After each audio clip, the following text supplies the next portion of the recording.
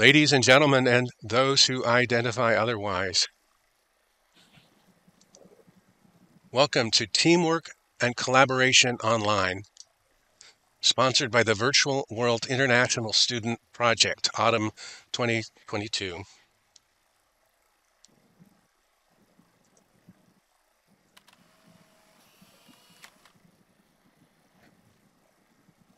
In today's presentation, we will give models for teamwork and collaboration for those forming, participating in, and leading teams. Participants will be able to diagnose where their teams are working well or need work. The first part will be basics and professional Tips A team is two or more people working on a common objective. For example, look at the person sitting next to you right now and imagine I have just assigned the two of you to work together to learn something new today before the end of the presentation.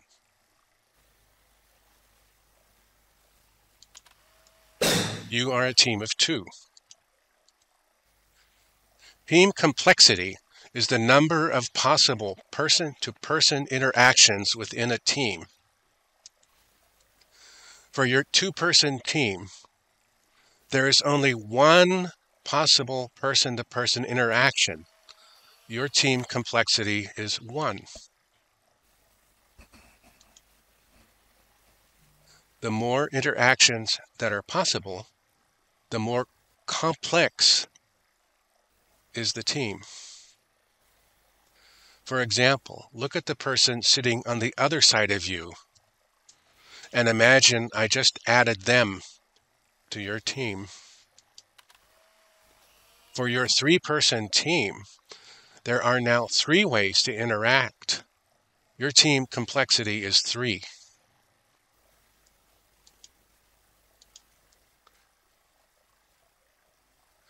Now, let me just pause here and mention you are in groups of six for your official team flag colors. How complex is a team of six? For six people, how many different ways could they talk to each other? Bun- Bunhead says 47.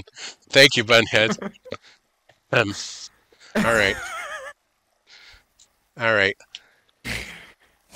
I will give you the formula if you have a six person team, there's six possible people that could be on the left, and that leaves five possible people on the right. So that's that would be 30 possible conversations, but that's double counted. So there's 15.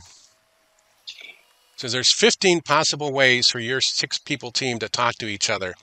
15 is a lot. That is why there has to be a leader and an assistant leader to keep things down to smaller subgroups. So you need to keep your teams manageable. There are two types there are teams one time teams and recurring teams.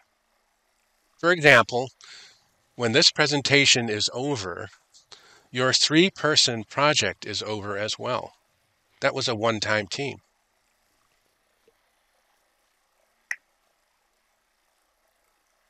On the other hand, even when this presentation is over, the Virtual World International Student Project Autumn 2022 faculty team, John and Magua and Urson, Ginger, and others, will be sponsoring seven more shared class presentations. That is a recurring team. Teams that you sign up for are voluntary.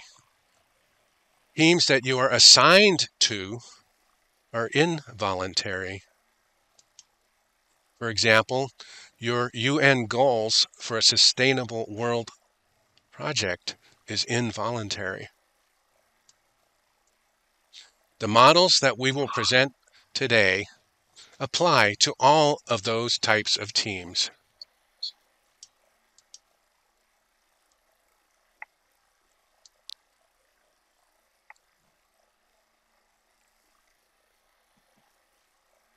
Team Operations Model.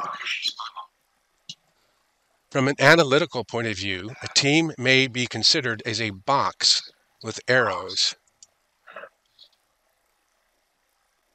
The arrows on the left represent the inputs of the team, such as your team members and their skills and time. The arrows on the right represent the outputs of the team, such as your project presentations and displays. The arrow on the top represents the controls on the team, such as assignments and constraints. In this course, your controls include the team briefing and project briefing, which are back at the arrival area where we began. The arrow on the bottom represents the supports of the team, such as the things that help get the job done. In this course, your supports are these shared classes and your extended faculty.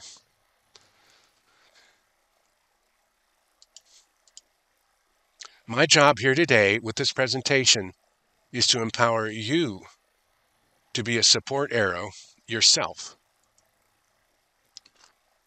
No matter what team you're on or what role you play on that team, now and in your future.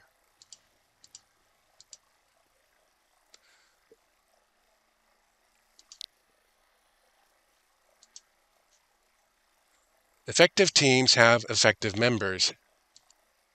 Each of you bring an individual investment to the team box based on what you already know how to do and whether you are willing to do it.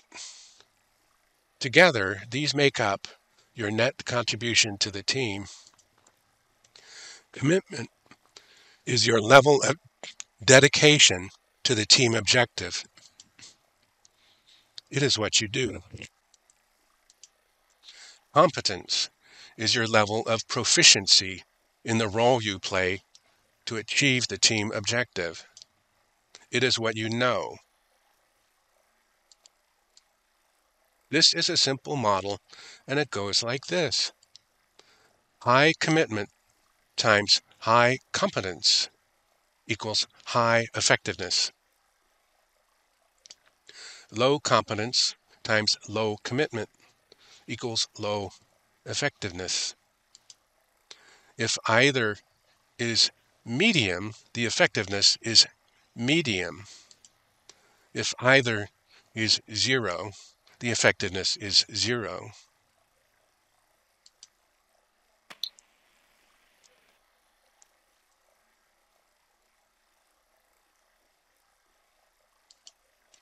Most of the time, individuals achieve medium effectiveness due to constraints on their knowledge and time. However, anything above zero is a win. Professional tip. The question is, for each team you're on, what do you know how to do and are you willing to do it?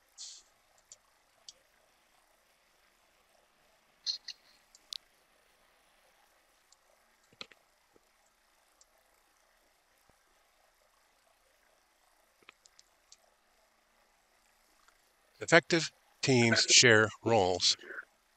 Your team brings a group investment to project success based on how well your members cover as many as nine team role skills. These include leading the team, generating ideas, investigating other efforts, detailed special knowledge, steady working and implementing, filling in the gaps, ruthlessly tracking down project versus goal, fine detailing, coordinating the team. Nine team roles. This is a simple model and it goes like this. High coverage of the nine roles equals high success. Medium coverage of the nine roles equals medium success. Low coverage of the nine roles equals low success. Most of the time, groups achieve medium success due to one or more team roles skills not being covered by one of the team members going in. However, anything above zero is a win. Professional tip. The question is, for each team you are on, what roles don't you know yet? And are you willing to learn them?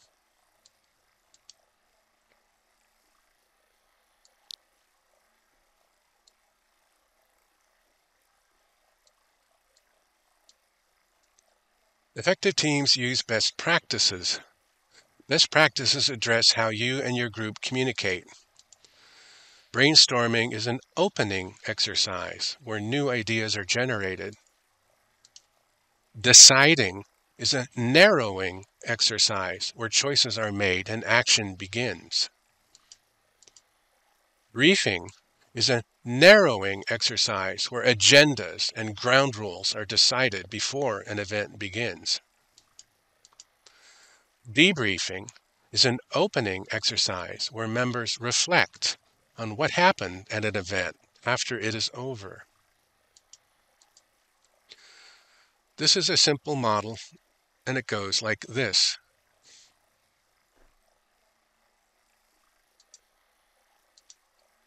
Either you talk to make things more open and expand the options, or you talk to make things more closed and narrow the options. The ability to expand options and the ability to narrow options are both needed. Throughout your project, your team will cycle back and forth between opening and closing communication modes.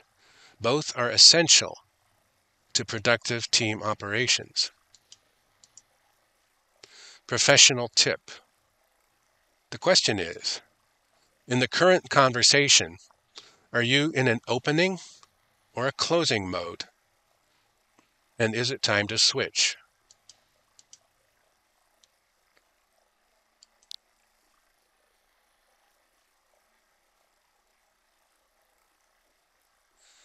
Effective teams develop in stages. Stages address how you and your team evolve through time. Forming is where you learn each other's names and how to get in touch with each other. Storming is where you argue with each other about how to do stuff.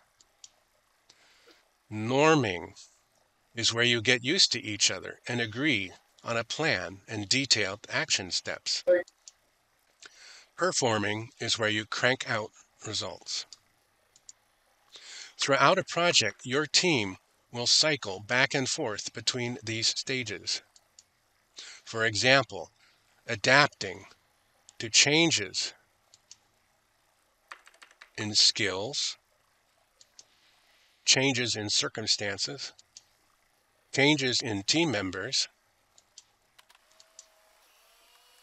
You will be adapting, improvising, and overcoming up to and even during your team presentation.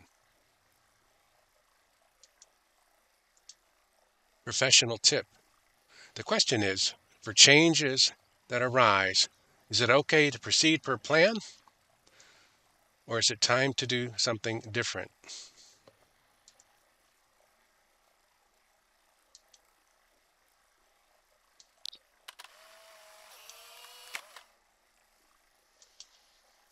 Effective teams evolve.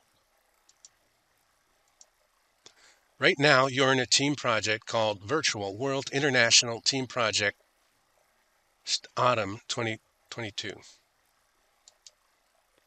Even when this is over, you will certainly be in some other team project.